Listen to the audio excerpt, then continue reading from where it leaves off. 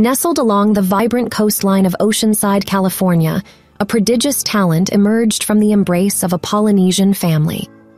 Te Hina Pao Pao, born on that glorious summer day of August 21st, 2002, embarked on a journey destined for greatness.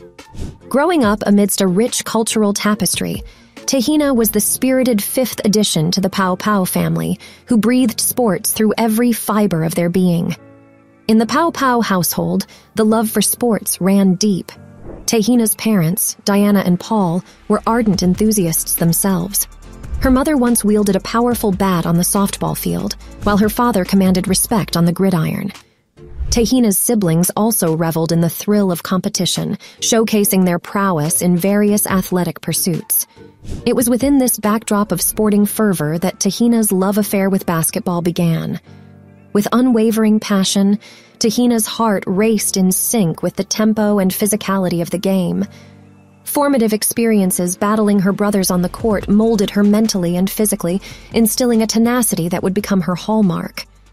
At the remarkable age of 10, Te Hina stepped onto the court as a starter among girls five years her senior. Te Hina's educational journey led her to the prestigious halls of La Jolla Country Day School, where her basketball skills would prove instrumental in their pursuit of glory.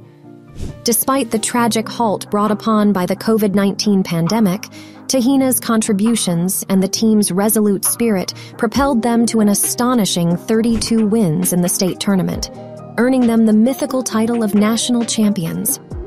Recognized for her indomitable spirit, Te Hina was crowned the Gatorade Player of the Year in California and received the illustrious McDonald's All American recognition.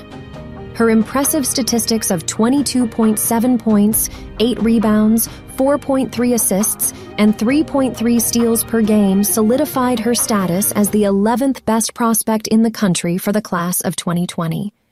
However, fate had an unexpected twist in store. Torn ACLs marred both her freshman and sophomore years, threatening to dim the radiance of her aspirations.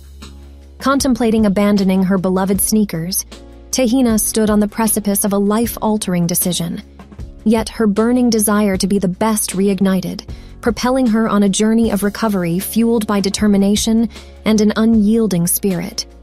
And so, like a phoenix rising from the ashes, Te Hina returned to the court in her junior year igniting the Oregon Ducks with her presence.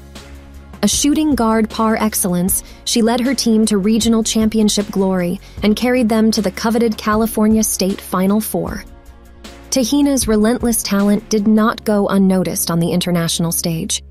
She earned a place in the Under 19 Women's World Cup squad, standing alongside the finest talents in the world. Te Hina etched her name into the annals of basketball history as a beacon of athletic prowess.